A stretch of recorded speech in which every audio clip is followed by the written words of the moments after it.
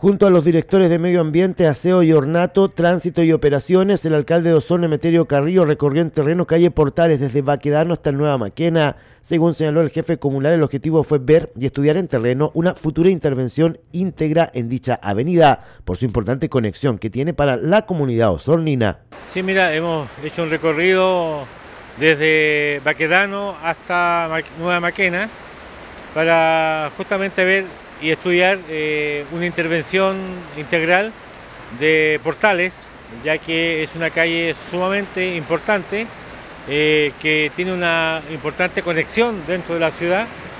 Y hemos estado viendo desde el punto de vista del tránsito, del punto de vista del paisajismo, eh, por lo tanto pronto vamos a, a entregar noticias referentes a lo que se quería hacer acá, porque obviamente es muy importante poder mejorar nuestros espacios, nuestras áreas verdes y también ver de qué manera podemos mejorar la circulación vial de nuestros usuarios de nuestras eh, calzadas. Carrillo señaló que es importante trabajar en estos aspectos, recuperando y mejorando muchos lugares de la ciudad y por ello realizó un llamado a la comunidad para que cuide el trabajo que se está realizando para beneficio de los propios vecinos y vecinas de la ciudad de Osorno.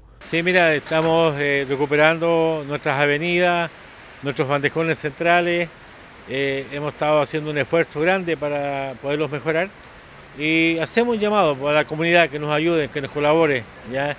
Eh, lo que estamos haciendo es para la gente, para los ciudadanos, para quienes nos visitan. Por lo tanto, es tarea de todos preocuparnos de su cuidado, así que invitarlos a eso. ¿ya?